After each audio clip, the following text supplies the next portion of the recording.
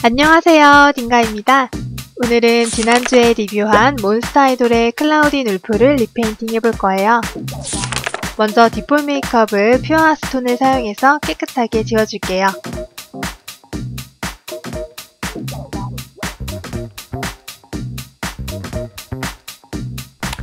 무광 스프레이를 골고루 뿌려서 잘 말려주세요.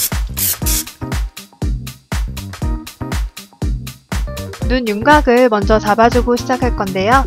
기존의 눈 몰드가 많이 올라가 있는 편이어서 살짝 내려서 그려줬어요.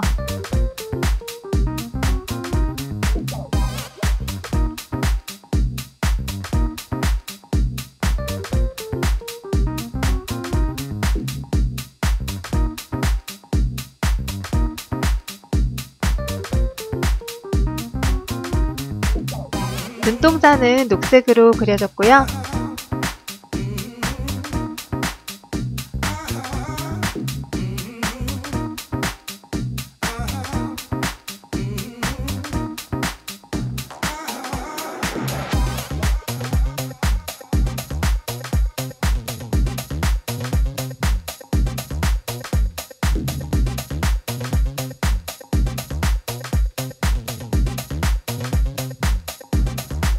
처음에 눈썹이 너무 도톰하게 그려진 것 같아서 지우개로 조금 수정해줬어요.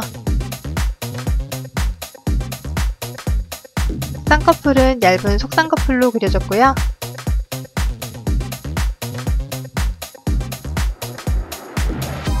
파스텔로 눈썹 형태를 다시 잡아준 다음 색연필로 자연스럽게 눈썹 결을 살려서 그려줬어요.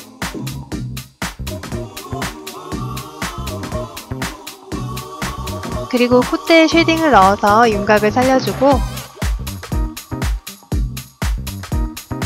lip과 cheek는 같은 색상으로 발라줬는데요.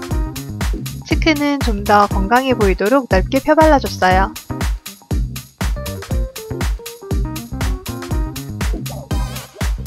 그리고 통편집했지만 전체적으로 gold pearl을 발라줬었는데요. 무광 코팅제를 뿌리니까 pearl감이 거의 사라졌더라고요. 게다가 립과 치크도 핑크가 아닌 살구빛으로 색이 변했어요. 살구빛도 클라우딘에게 잘 어울리는 것 같아서 바니쉬를 발라서 마무리해줬어요.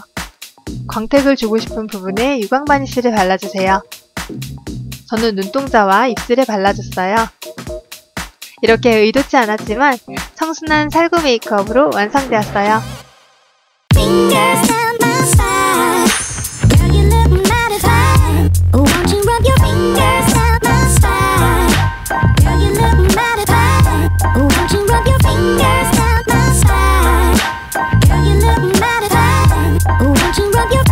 영상도 재밌으셨다면 좋아요와 구독도 잊지 마세요.